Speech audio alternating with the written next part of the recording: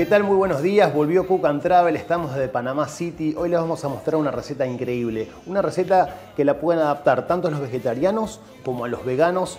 Obviamente suprimiendo algunos pasos. Vamos a hacer un risotto de espárragos con un crocante de queso que va a ser espectacular. Estoy con un colega y amigo, Mariano Ceballos de Venezuela. Así que nada, nos estamos divirtiendo acá. ¿Cómo andas, Mariano? Aquí vamos, aquí vamos, divirtiéndonos. Acá estamos con el chamo, así que bueno, espero que les guste esta receta que va a ser fabulosa.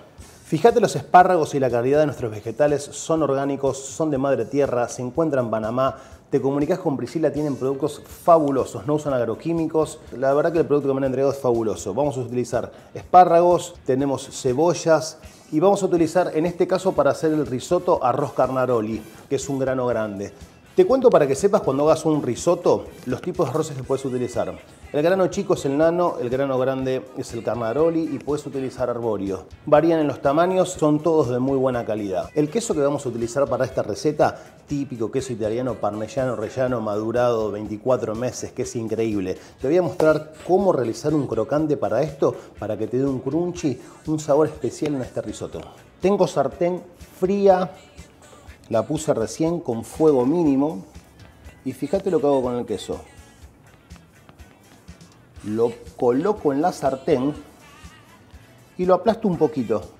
No se toca, no hay que moverlo, se empieza a poner en el principio gomoso, no importa todo ese procedimiento, ese es paso a paso cómo llegar al crocante que vamos a tener.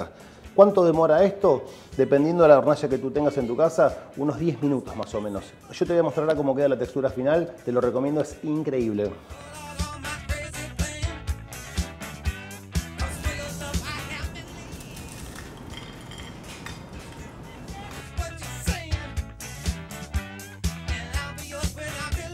Vamos a empezar a adelantar nuestros espárragos que ya habíamos previamente marcado. Tengo una parrillita acá ¿Qué voy a hacer? Solamente los voy a grillar, les voy a dar muy buena coloración para decorar nuestro plato final.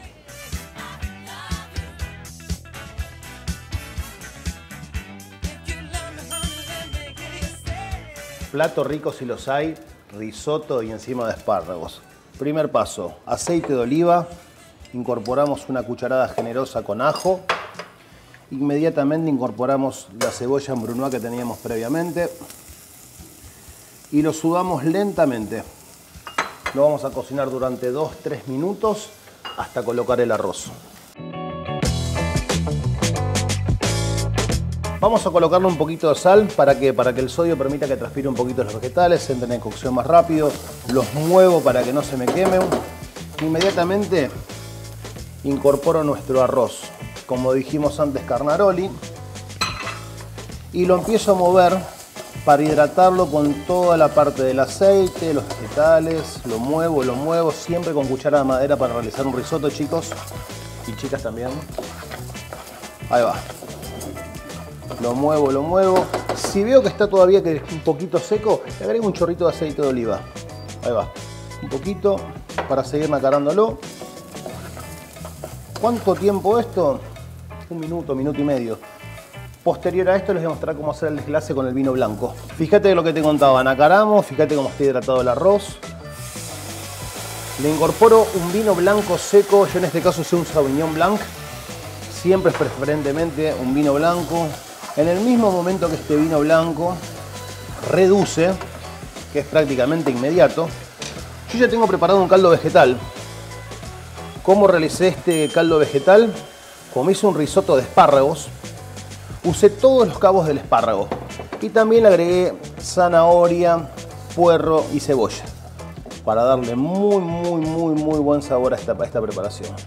Le voy poniendo caldo a nivel y a medida que se va eh, hidratando el arroz, o sea, se evapora el líquido, le voy agregando nuevamente. ¿Cuánto demora para hacer un risotto? Son 18 minutos más o menos. En el primer paso del risotto, cuando colocamos el ajo y la cebolla, les mostré que coloqué sal para que el sodio libere los líquidos de los vegetales y ayudar al momento de cocción. Ahora, en todo, el posterior, hasta el momento final, que no se rectifican los sabores, es porque voy a tener un queso que es el parmellano rellano, muy salado, tengo manteca, hay un montón de información que se puede pasar de sabor. Por eso, en el risotto, los sabores se rectifican en el momento final, luego del mantecado. Teníamos los espárragos que grillamos y teníamos unos que eran más chiquititos. Los chopeamos, los picamos chiquititos, se los agregamos en la última parte de la cocción porque ya están marcados. Los cocinamos dos minutos en agua hirviendo con sal. Si yo los vuelvo a poner a la mitad de la cocción del arroz, se me va a pasar de cocción. Los incorporo. Incorporo nuestro parmellano rellano, que va a ser la parte de nuestro sabor. Y también incorporo la mantequilla.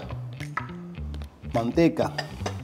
Y ahora lo que hago es solamente incorporar, mover bien con la cuchara y lo voy a dejar 5 minutos para que se termine de cocinar el, arroz, que está al dente, que está como debe ser. Ahora es el momento que habíamos hablado previamente. Pruebo cómo quedó con la manteca con la sal, el espárrago, que también tenía sal en el momento de cocción. Lo pruebo. ¿Con qué rectifico? Con sal y con un poquito de pimienta, solamente. Y lo único que hago es disfrutar este plato.